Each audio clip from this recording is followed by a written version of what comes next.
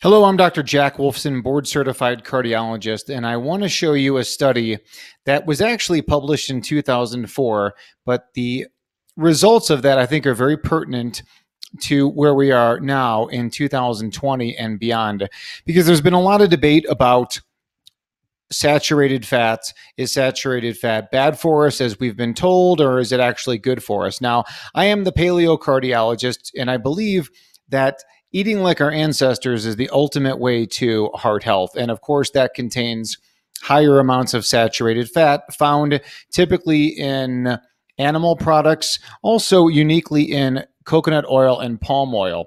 And I think if we do so with ethically raised animals and organic coconut and organic palm and organic eggs, we will do well. So, in this particular study, you can see here, this published in 2004. I got a pointer on the screen the American Journal of Clinical Nutrition 2004.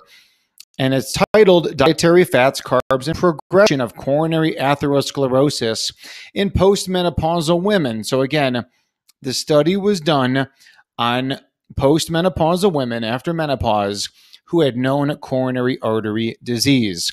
This is done by the lead author, Dr. Uh, Mozaffarian, who's a very, very famous researcher. And oh, by the way, this study was done out of the Harvard School of Public Health.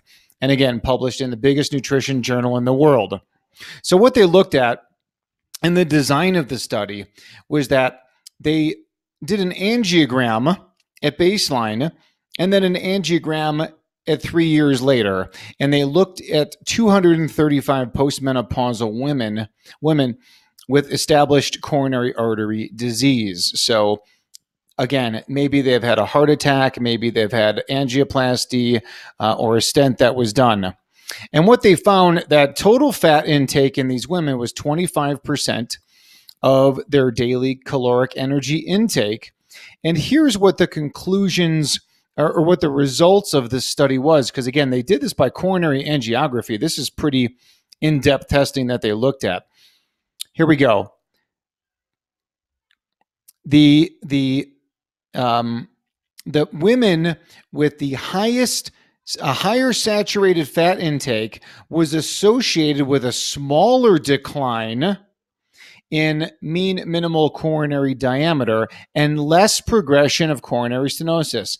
Higher sat fat, less progression of coronary stenosis compared to those women with the lowest saturated fat intake. In addition, what they found, uh, carbohydrate intake was positively associated with atherosclerotic progression, meaning higher carbs, the more coronary artery disease progression. Conclusion in postmenopausal women, a greater saturated fat intake is associated with less progression of coronary atherosclerosis, whereas carbohydrate intake is associated with a greater progression.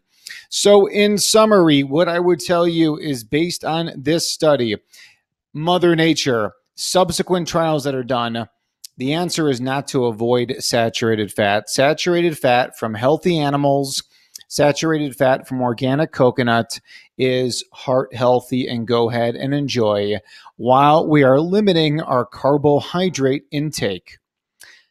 This is why I wrote a chapter in the textbook called Integrative Cardiovascular Medicine that was released in 2019 at the American Heart Association meetings.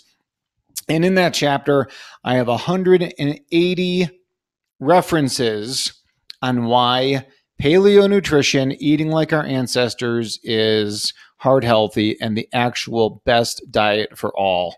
Thank you for listening.